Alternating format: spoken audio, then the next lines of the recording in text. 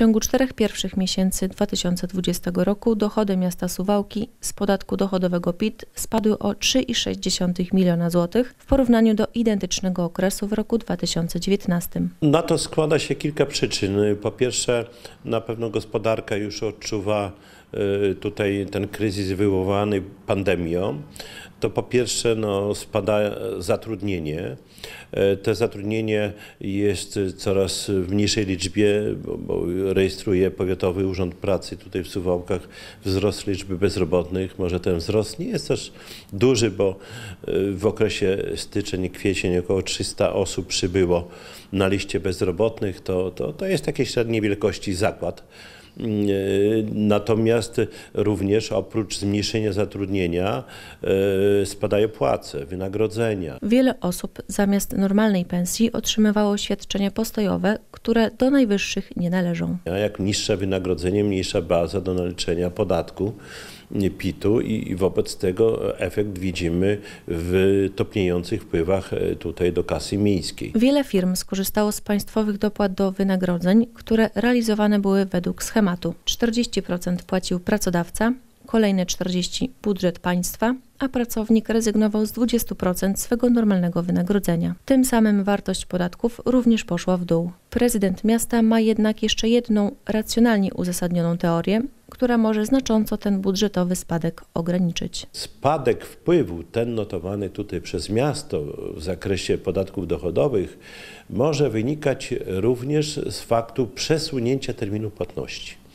W tym roku PIT wynikający z rozliczenia rocznego, czyli zeznanie roczne, jak e, typowo płaciliśmy ten niedobór podatku do końca e, kwietnia, to w tym roku mamy wydłużony termin do końca maja. Podobnie z CIT-em jest, ale jak popatrzymy na układ kalendarza, to 31 maj to niedziela, a wobec tego nawet jeżeli ktoś wpłaci 1 czerwca, to mm, będzie e, uznane, że termin ten zachował. I my obawiamy się, ze strony tutaj miasta, że mm, nie będziemy do połowy lipca jeszcze mieli takich wiarygodnych danych, co chodzi o spadek, realny spadek naszych dochodów z podatków dochodowych. To się wszystko przesuwa w czasie i przesunięcie terminu właśnie spowoduje, że część tych podatników zapłaci mm, z rozliczenia rocznego ten niedobór podatku w maju, część może 1 czerwca i, i to się wszystko y, właśnie okaże gdzieś tam w granicach 10, 10 e, lipca, kiedy będziemy mieli już wpływy z udziału w tych podatkach e, podliczone za całe pierwsze półrocze. Dopiero wówczas można będzie dokonać pełnego wyliczenia i dopiero wtedy okaże się, z czego będziemy musieli zrezygnować. W mojej ocenie y, sytuacja w zakresie dochodów budżetowych samorządów będzie trudna, szczególnie trudna w tym roku. Wszystko będzie zależało od tego, co stanie się z dużymi firmami, dużymi zakładami, bo małe firmy jakoś sobie radzą. Mniejsze firmy już w zasadzie funkcjonują, nawet i restauracje z tymi e, obostrzeniami, które powinniśmy zachowywać, ale i fryzjerzy, i zakłady kosmetyczne, zaraz siłownie, kluby fitness, to powoli ruszy. Natomiast większy problem występuje w firmach dużych, gdzie e, zajmowali się produkcją, eksportem swoich wyrobów, no i, i tutaj ten odtworzenie tego popytu, tej konsumpcji, y, to będzie mm, musiało trwać y, dłużej w czasie. Mm, no i, i wiemy, że jeszcze niektóre firmy są zamknięte w Suwałkach, nie produkują.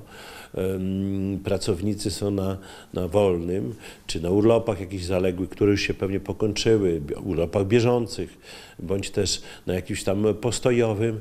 Y, I jeżeli te firmy nie reaktywują swojej działalności w ciągu dwóch, trzech miesięcy, jeżeli ta gospodarka, y, szczególnie zachodnia, gdzie, gdzie y, te firmy produkowały y, i eksportowały te swoje wyroby, nie będzie na tyle chłonna, no to wtedy myślę, że może być gorzej, może dojść do redukcji zatrudnienia, no i nie daj Boże do, do upadłości. Kluczowe będzie zatem w najbliższej perspektywie odbudowanie popytu na produkty wytwarzane przez nasze lokalne przedsiębiorstwa. Popyt utrzyma miejsca pracy i pensje, które będziemy mogli znowu wydać na zaspokojenie naszych konsumenckich potrzeb.